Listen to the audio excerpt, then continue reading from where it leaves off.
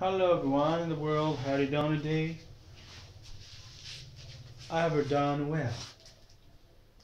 It's me Zaki, your English teacher, and today we're going to talk about really simple lesson, sometimes may be confusing. It's about the F sound and V sound. Before we start, we need to know what is F sound. It's like this. So air comes out of your mouth. Air comes out of your mouth as it's like that. V sound, the air inside your mouth. Or we could say it's closed, enclosed in your, in your mouth. So it's vibration, vibrate.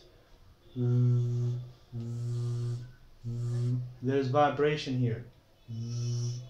But the F sound is there is no vibration and air comes out of your mouth okay? Let's look at the examples. So the F sound air comes out of your mouth. Few so say the sound first before you say the word to feel the sound. Few free. Fruit. Flies. Fly from flames live laugh leave laugh leave.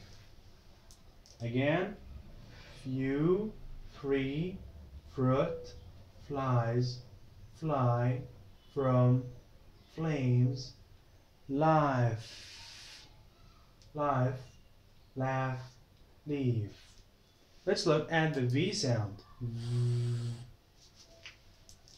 Vibration in the teeth. So, vow, live, leave, van, vacation, village, valley, video, viber. Again, vow, live, leave, van, vacation, village, valley, video, Viber. So let's make a difference between two words here, okay? Live, live, live, and live, and live. Thank you for watching. See you soon. Bye bye.